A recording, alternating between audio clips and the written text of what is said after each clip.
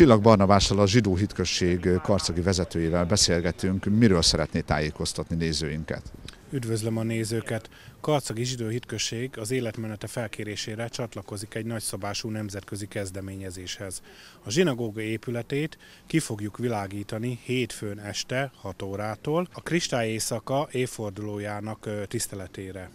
1938. november 9-én és 10-én, 82 évvel ezelőtt a Kristály éjszakán egy központilag megtervezett és irányított országos zsidó ellenes erőszakullám volt a náci Németország területén. Az akcióra ürügyként egy Franciaországban szolgáló német diplomata meggyilkolása szolgált.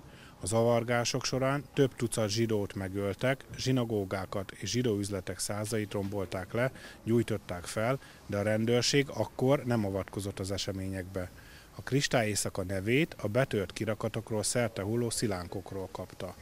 Ez 1938. júliusa és októberre között számos olyan rendelkezés született, amelye a zsidó vagyonok kisajátítását szolgálta. A rendelkezésre tehát előbb került sor, mint ahogy a kristály éjszaka megtörtént volna. A karcagi zsidó hitkesség csatlakozott ehhez a nemzetközi kezdeményezéshez, a zsinagóga épület kivilágításához. A kristály éjszaka fényei az égigérő zsidó üzletek és zsinagógák fényei voltak, a pusztító barbarizmust hirdették, a pusztítást az építés felett. Néhány évvel később pedig megkezdődött ugye a holokauszt borzalma, tehát a kristály éjszaka fényei mondhatjuk baljós jelzőfények voltak. Úgy gondoltuk, hogy eljött az ideje annak, hogy mi, az európai zsidóság maradéka, visszavegyük újra a reménykedés, a felvilágosodás és az összetartozás szimbólumává váló fényt. Ezért kéri tőlünk is a nemzetközi életmenete, hogy csatlakozzunk ahhoz a nemzetközi kezdeményezéshez, amelynek során a kristály éjszaka évfordulóján fénybe borulnak a zsinagógák épületei, mementóként és reményként. A fény utat mutat, biztató jövő ígéretét.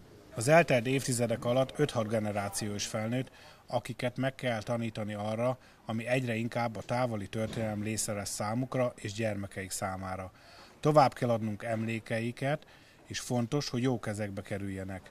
Nemzetközi emlékező akció, amelyben részt kívánunk venni, a fény visszavételét célozza. Kérem a karcagi lakosokat, hogy aki szeretne ebbe a kezdeményezésbe részt venni, az hétfő este 6 óra után sétáljon el a Karcagi zsinagóga épülete mellett, nézze meg a csodálatosan kivilágított üvegablakokat, és emlékezzünk együtt közösen, de az emlékezés alatt is tartsuk be a Covid előírásokat.